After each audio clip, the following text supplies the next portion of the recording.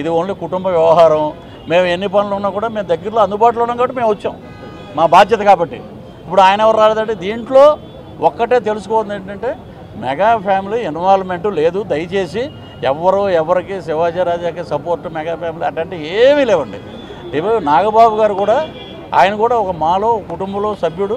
మాకన్నా పెద్దవాడు గురువులాగా చూస్తాం. ఆయన ఎవరికైనా మాట్లాడితే ఒక ఆర్టిస్ట్గా చెప్పుకుండొచ్చు అంతే. అది.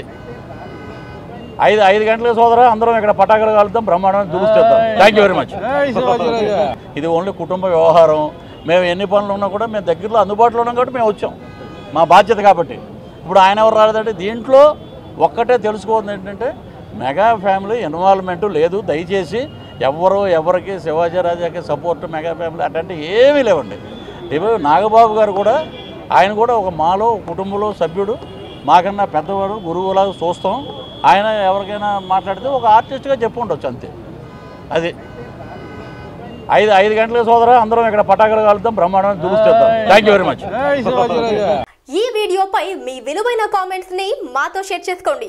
అండ్ ఇంకో విషయం సబ్స్క్రైబ్ చేయడం మర్చిపోకండి.